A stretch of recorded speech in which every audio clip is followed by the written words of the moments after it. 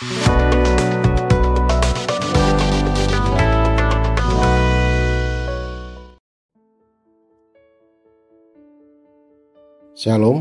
selamat pagi Bapak Ibu Saudara-saudari yang dikasih oleh Tuhan. Di pagi yang Tuhan kuduskan bagi kita semua, semoga kita semua dalam keadaan yang sehat dan selalu berada dalam perlindungan kasih Tuhan. Bapak Ibu yang dikasih Tuhan, sebelum kita memulai segala aktivitas kita di hari ini, mari kita memulainya dengan membaca dan merenungkan firman Tuhan. Sebelumnya mari kita berdoa. Terpujilah namamu ya Tuhan, kami bersyukur dan berterima kasih untuk hari yang Tuhan kuduskan bagi kami. Terima kasih atas penyertaan Tuhan dalam istirahat kami sepanjang malam dan pagi ini. Sebelum kami melaksanakan rutinitas kami sepanjang hari ini, kami akan membaca dan merenungkan sebagian dari firman. Kuasai kami dengan kuasa roh kudusmu, agar firmanmu dapat kami teladani, dalam menjalani aktivitas kami sepanjang hari ini. Terima kasih Tuhan, ampunkan salah dan dosa kami. Dalam nama Yesus Kristus adalah Tuhan dan Juru Selamat kami yang hidup. Amin. Bapak Ibu, firman Tuhan yang akan kita renungkan hari ini terambil dari Keluaran 40 ayat 34 sampai 38. Keluaran pasal 40 ayat 34 sampai 38. Firman Tuhan. Kemuliaan Tuhan memenuhi kemah suci. Lalu awan itu menutupi kemah suci pertemuan. Dan kemuliaan Tuhan memenuhi kemah suci. Sehingga Musa tidak dapat memasuki kemah pertemuan. Sebab awan itu hinggap di atas kemah itu dan kemuliaan Tuhan memenuhi kemah suci. Apabila awan itu naik dari atas kemah suci, berangkatlah orang Israel dari setiap tempat mereka berkemah. Tapi jika awan itu tidak naik, maka mereka pun tidak berangkat sampai hari awan itu naik. Sebab awan Tuhan itu ada di atas kemah suci pada siang hari, dan pada malam hari ada api di dalamnya, di depan mata seluruh umat Israel pada setiap tempat mereka berkemah. Amin. Tema renungan harian Toraja pada hari ini berdasarkan pada pembacaan kita dari Keluaran 40 34 sampai 38 adalah tanda Tuhan.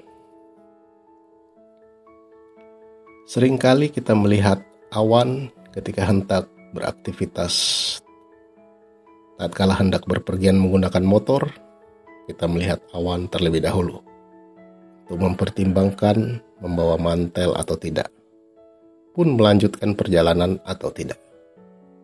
Pada titik ini, kita disadarkan bahwa selalu ada pesan di balik tanda, dan alangkah baiknya jika dalam rencana dan gerak kita memperhatikan pesan di balik tanda yang ada. Keluaran 40 ayat 34 sampai 38 memelihatkan bagaimana awan dan api sebagai tanda bagi bangsa Israel ketika berada dalam perjalanan ke tanah Kanaan. Sesungguhnya awan dan api sebagai tanda hanya sekedar gejala dari kemuliaan Tuhan yang senantiasa menyertai bangsa Israel. Maksudnya adalah awan dan api bukanlah ilah, tetapi menunjukkan kapan bangsa Israel harus berhenti dan bergerak dalam perjalanan. Mereka tidak boleh berencana dan bergerak di luar tanda-tanda kemuliaan Tuhan yang selalu hadir dalam perjalanan mereka.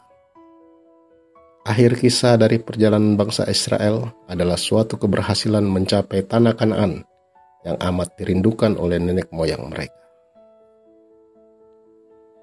Dalam kehidupan ini, sering berencana melaksanakan atau bergerak pada suatu perjalanan, pekerjaan, pelaksanaan acara, atau apa pun itu. Bacaan kita mau mengingatkan kita bahwa Tuhan pun selalu hadir dalam hidup kita meskipun tanda-tandanya tidak lagi berbentuk awan ataupun api. Ia selalu hadir dalam hati setiap orang yang percaya dan selalu menggerakkan kita untuk kemuliaan Kristus. Perlu kita pahami bahwa segala sesuatu ada dalam rangkuhannya termasuk hidup kita. Sebab itu, ketika kita berencana dan bergerak dalam kehidupan kita, semua harus tunduk dalam kesadaran bahwa tiap tanda-tanda yang ada dalam hidup ini berada dalam skenario Tuhan untuk memberi suatu pesan bagi kita. Amin. Bapak Ibu yang dikasih Tuhan, mari kita berdoa. Ungkapan syukur dan terima kasih kami panjatkan kepadamu ya Tuhan atas kasih setia dan penyertaan-Mu pada kami. Terima kasih atas firman-Mu. Biarlah kami selalu mengingat bahwa Tuhan akan selalu hadir dalam hidup kita dan kami percaya bahwa tanda-tanda yang ada dalam hidup kita berada dalam skenario Tuhan untuk memberi suatu pesan bagi kita. Kami berdoa untuk kehidupan kami masing-masing dalam keluarga, kami berdoa juga untuk orang tua kami dalam masa tua mereka. Semoga tetap diberi kesehatan. Kami berdoa untuk anak-anak kami dalam masa pertumbuhan dan dalam masa pendidikan mereka. Berkati dan lindungi kami semua Tuhan dalam menjalankan segala aktivitas kami sepanjang hari ini. Ini doa kami Tuhan, ampunkan salah dan dosa kami. Dalam nama Tuhan Yesus, sudah berdoa. Amin. Bapak Ibu, saudara-saudari, demikian renungan harian Toraja kita pada hari ini. Tuhan Yesus kiranya menyertai kita semua dalam berkarya sepanjang hari ini. Selamat pagi, Shalom.